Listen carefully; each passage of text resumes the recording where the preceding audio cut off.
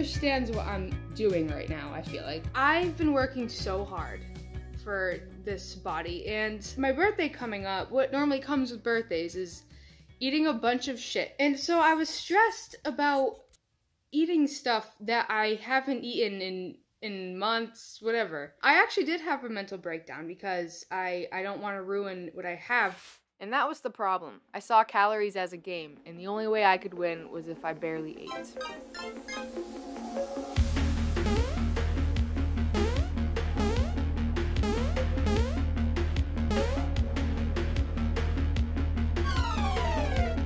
Every time that I thought that I went over my calorie goal and ate too much, I would force myself to run.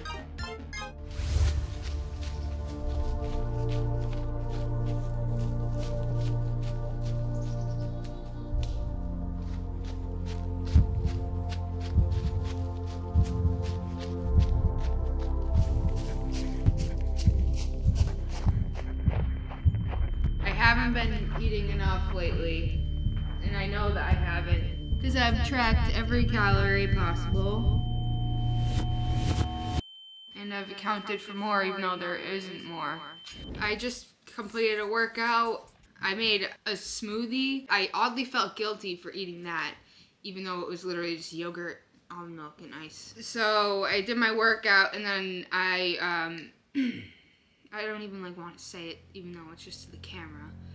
But I threw up everything. I could only restrict myself for so long. I'd always reach my breaking point and binge on food. It was the only thing that would turn off my mind and make all my negative emotions disappear. As I circled around the kitchen and time ticked away, food wrappers piled up on the floor in front of me. When I finally came to my senses, I had eaten so much I couldn't physically swallow another bite. I was so embarrassed by my actions, the only option I had was to bottle everything up. thank you.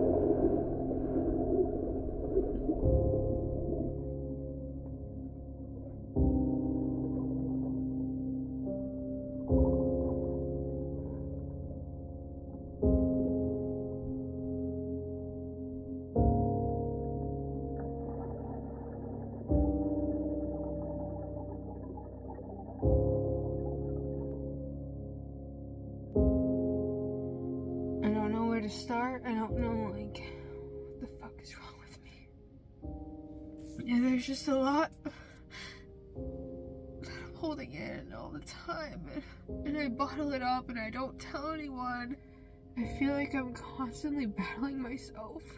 And I want to be happy, but I fucking can't.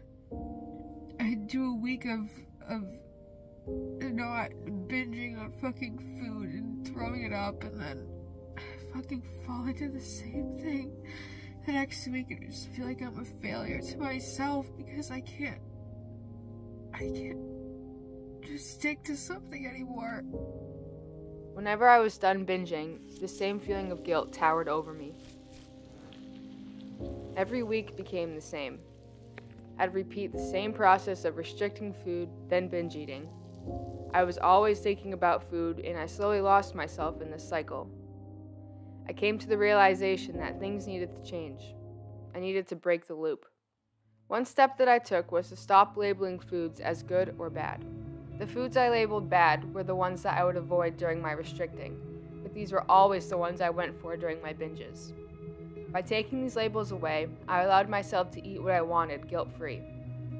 I stopped tracking my calories and completely ignored nutrition labels. I started to accept my struggles I had with food.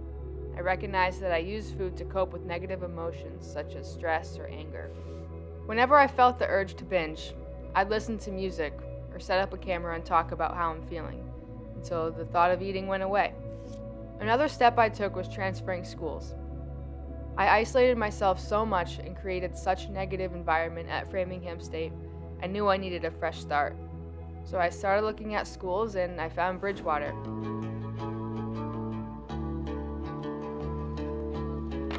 I started to find myself again, and slowly I could feel the weight being lifted off of my shoulders. Oh my god, I did it. Things might look a little bit different, and they sure do feel different. Today is Monday, August 29th, 2022, and we, my friends, we are at Bridgewater State University. I am so happy that I transferred. Transferring was the best move I've made. Not only are we at Bridgewater State University, but guess who is not a student athlete anymore? I think I lost my love for field hockey, which is okay. And I got upset about that and upset with myself that I didn't like field hockey anymore. It wasn't giving me happiness. And I think one thing I have learned if something's not making you happy, then just don't do it. No matter how hard I tried to love the sport again, I couldn't. And I felt this way before. And I just didn't want to relive the past. I hope I could keep this up. And I think I will because I'm in the right environment now. There are times, however, where I feel the waves of negative thoughts come back. Sometimes it feels like they're trying to take control again.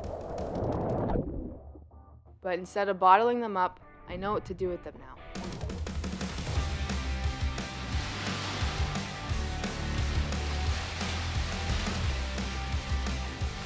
Throughout all these years of finding myself, I can now proudly say that I no longer carry the weight of numbers.